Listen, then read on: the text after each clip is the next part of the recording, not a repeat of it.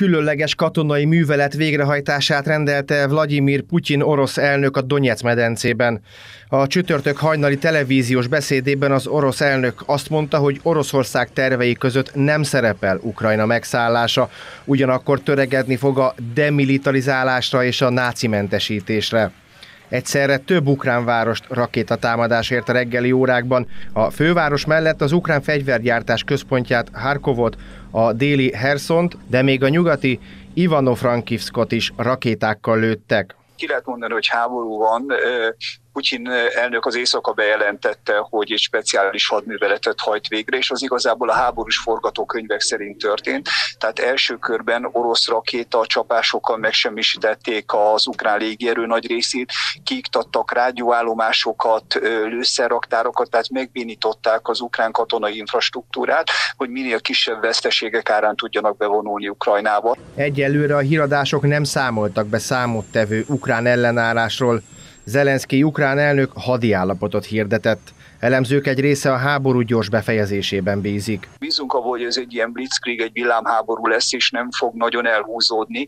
Eh, ahogy tegnap néztem eh, Zelenszky ukrán elnöknek a sajtótájékoztatóját, úgy érzékeltem, mintha egy kicsit elengedte volna azokat a részeket, ahol a szakadár csapatok vannak, tehát az úgynevezett Donetsk és Luhanszki népköztársaságokat.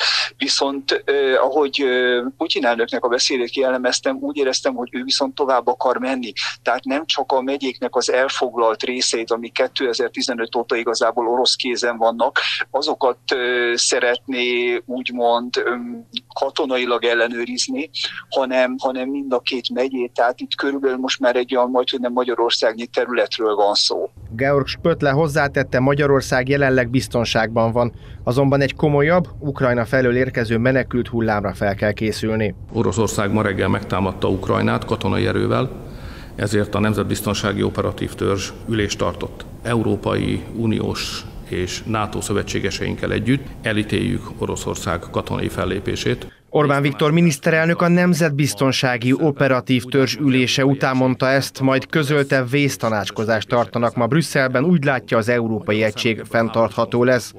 De leszögezte, szó sem lehet arról, hogy akár katonákat, akár katonai eszközöket telepítsen Magyarország Ukrajnába, de humanitárius segítséget természetesen nyújt hazánk. Cserpalkovics András az Óbudai Egyetemen csütörtök délelőtt arról beszélt, hogy minden lehetséges eszközzel segíteni fogja az önkormányzat a Székesfehérváron élő és dolgozó kárpátaljai magyarokat, valamint az ukrán embereket. Ukrán emberek élnek ebben a városban is dolgoznak, Fehérváron és Fehérvár környékén, köztük kárpátaljai magyarok, és olyan ukrán emberek, akik a Ukrajna más részeiről érkeztek, és tartózkodnak életvitelszerűen Fehérváron, segítenek nekünk a munkában, és építik ezt a várost munkájukon keresztül.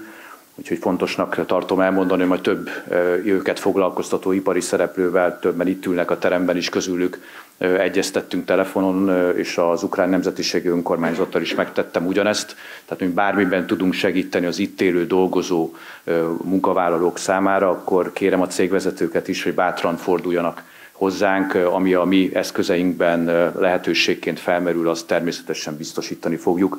A polgármester közös mécses gyújtásra hívja a fehérváriakat csütörtökön este 7 órára a Városház térre a harang emlékműhöz. Ahogy Facebook posztjában fogalmaz, a háborúk pusztításának mementójánál elhelyezett mécsesekkel fejezzük ki akaratunkat a békés megoldásra, együttérzésünket az ukrajnai konfliktus áldozataival.